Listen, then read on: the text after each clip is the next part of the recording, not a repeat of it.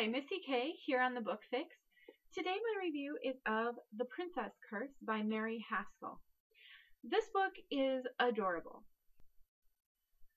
Um, it is a middle grade retelling of the 12 Dancing Princesses. And it's great because the main character is not a prince who's trying to break the curse. She's not one of the princesses.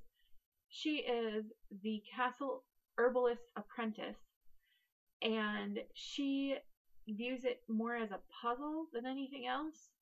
Um, and she she definitely she cares about the effect that it has on the country. And there's also a an attendant curse that happens um, for anyone who follows the princesses. Either they disappear or they fall into kind of a coma. And so she cares about some of the people in the coma. She cares about them. But she really doesn't she doesn't care that much about the princesses for the most part.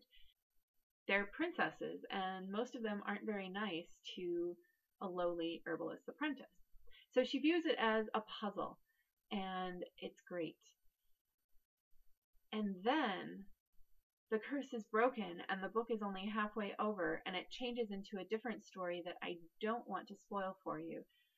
But basically, it's awesome and I would love to hear more of Rebecca's story.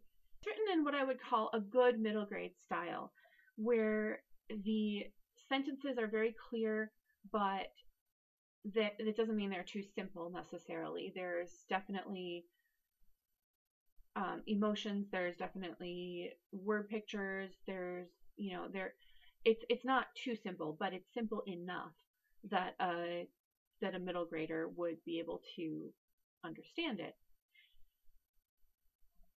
Seriously, this book it's so good. I I love Rebecca and seriously, I I want more. I don't know if there are plans for more, but I do. I want more. This book is highly recommended.